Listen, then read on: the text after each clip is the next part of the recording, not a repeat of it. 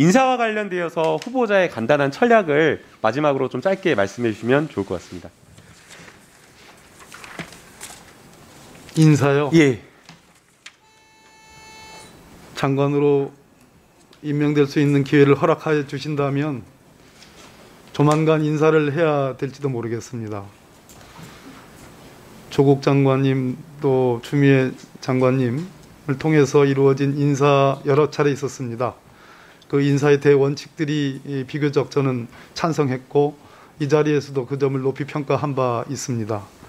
특히 형사 공판부 우대 이것은 앞으로 우리 검찰이 수사권 조정을 통해서 앞으로 다뤄야 될 주 포인트, 즉 인권, 적법 절차, 사법적 통제라는 세 가지 관점에서 매우 중요한 업무입니다.